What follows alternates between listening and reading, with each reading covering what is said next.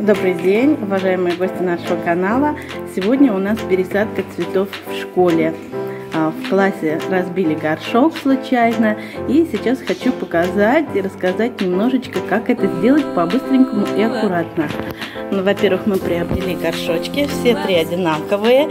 А если у нас разбивается один, мы, конечно, заменяем все три, чтобы на подоконничках было красиво и аккуратно.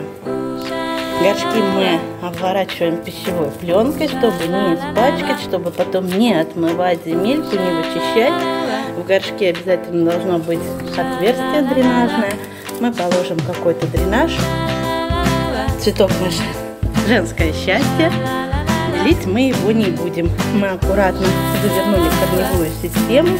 И так он у нас мог похорониться целые сутки мы не потревожили корешки, поэтому обсыпать дополнительно ничем не будем, ни корневином, ничем.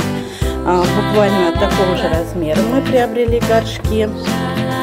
И добавим совсем немного свежей земли. Это у нас дренаж.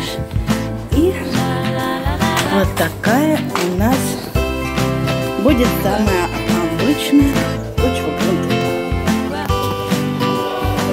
Хочу пожелать успехов нашим деткам.